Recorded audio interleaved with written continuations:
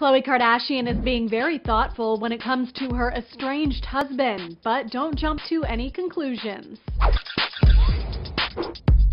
Although the former couple are still going through with their divorce, a source close to the pair tells E! News that Khloe checks in with Lamar to see how he's doing. Lamar has been ruled unfit to play on his new Spanish basketball team due to a back injury, so it's nice for Khloe to check in on his well-being.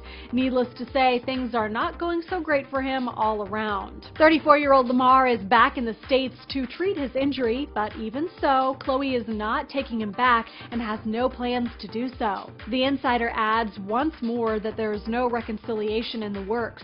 Meanwhile, that has not stopped Lamar from trying. He's done countless interviews proclaiming his love for Khloe and how he wants her back, but too little, too late, buddy. In the new In Touch magazine, for example, Lamar says, quote, I want to make it work with Khloe. I'm focusing on getting better.